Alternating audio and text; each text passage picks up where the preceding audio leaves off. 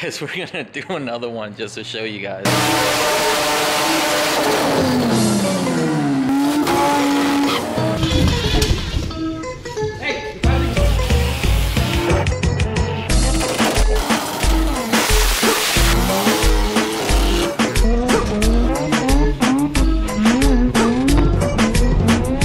Decided last minute, there's a private track rental. We're gonna take the FD out. We got all this stuff here.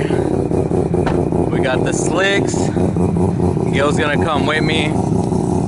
And we are picking up the FD from the house. So, got the other RX-7s in there in the garage and outside. It's an hour and a half away. So, we're a little bit late, but we're still gonna make it.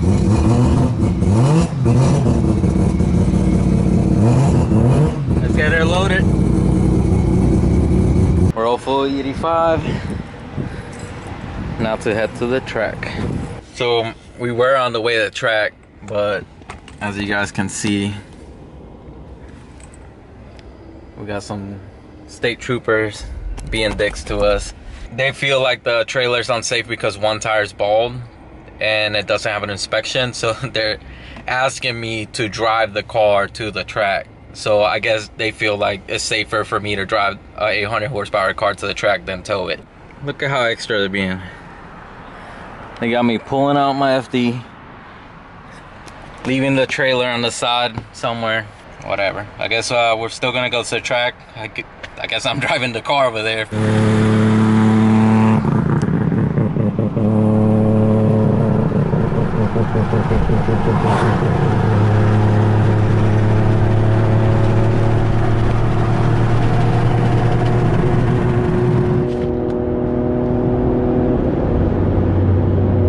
showed up so late.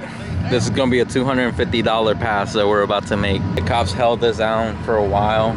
I'm pretty sure we're only gonna get one pass, but hopefully we get two.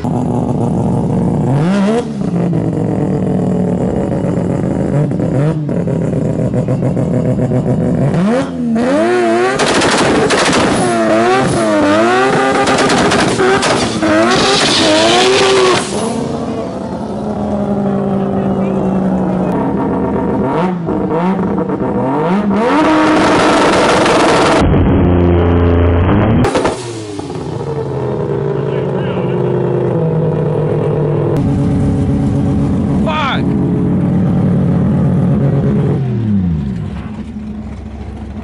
Uh, we're looking at Gil's footage, and the car popped the wheelie. You know, that's one reason it broke the axle right there. Let me see which one it was. Broke this axle right here. Let me see, show you guys. Broken, broken. This one again? Yeah. I don't think it broke two because the diff lets go.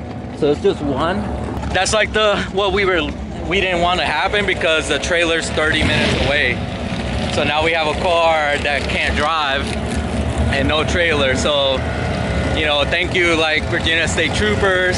Pretty sure we're just gonna hook up strap to the car and, and pull it all the way to the trailer and then load it on the trailer over there. There's really not much we can do, so we're just gonna wing it if the cop's still there, like, you know, we're just gonna take a different route. So I need to get home. It's two hours away and we're gonna make this happen. It looks like the, the FD is gonna need axles. All right, we're gonna have Gil pull us to the trailer. You're about to yank me.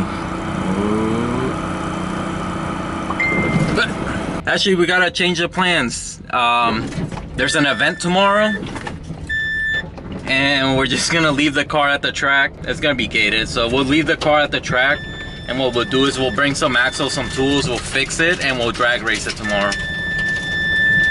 I think that will be the plan. That way we can get a little bit of a redemption. Now we need to hit up Texas, uh, Texas Pride for a trailer. See if they can get us rolling again. Bye bye, FD. Bye. We'll see you tomorrow. I'm gonna look for some axles at the shop and bring them for tomorrow then. They'll tell the state trooper we're picking up the trailer again. They wanted us to get it uh, taken out of here, what, on the back of a tow truck? Yeah, alright. okay. We got an RX-7 to pick up, man. Uh, we, we're back at the track. Uh, so they're not gonna let us race because they said they sold too many tickets. So I managed to convince them to let me race. So we're we're teched and we're in line. Long ass line, so it's probably gonna be one pass. It'll probably be around six when we get a pass, and hopefully the axle holds up. You know, we changed the axle. The car's driving good now, and uh, nothing's changed. I'm gonna leave it how it is, and just hope that it actually hooks and goes. Been here for four hours, still haven't made a pass. Shit is tragic. and it's about to get cold. Let me show Brad this out how it's done. The track's cleaned up. Uh, there was a two car pileup, so that's cleaned up. And we got probably five cars ahead of us. So we're gonna make a pass now. You know, it's either gonna it's either gonna go or it's gonna break another axle.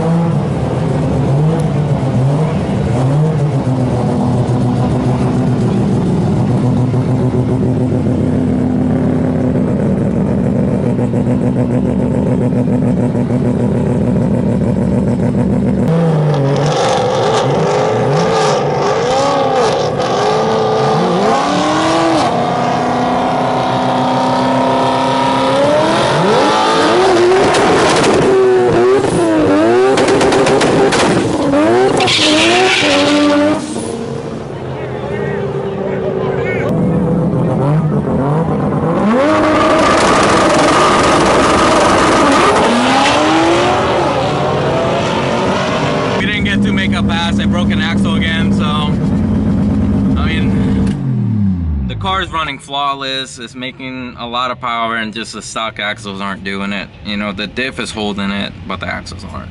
We're just gonna have to do something about the rear end, but we need to do something before Cleetus and cars. You know, we need a a trailer. So if you know anybody that can hook us up with a trailer, let us know. And we need a, a rear end for this thing so we can actually turn up the boost. So we're gonna load up in our raggedy trailer that the state troopers don't want us to drive and uh, and get it ready for for two weeks from now for Cleetus and cars.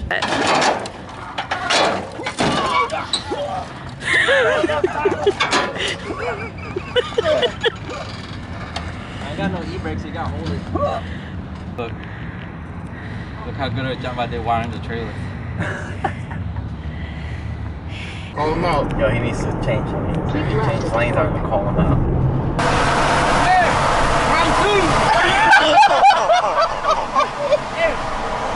Round two.